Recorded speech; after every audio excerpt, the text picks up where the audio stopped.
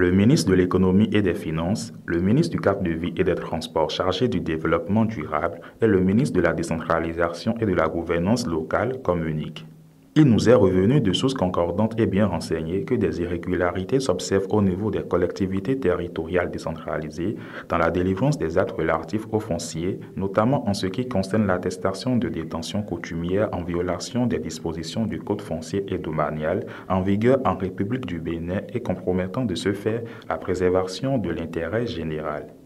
En conséquence, la délivrance de l'attestation de détention coutumière est suspendue jusqu'à nouvel ordre en zone rurale et en zone périurbaine non couverte par une opération de lotissement sur toute l'étendue du territoire national en attendant les résultats de l'approfondissement des investigations en cours.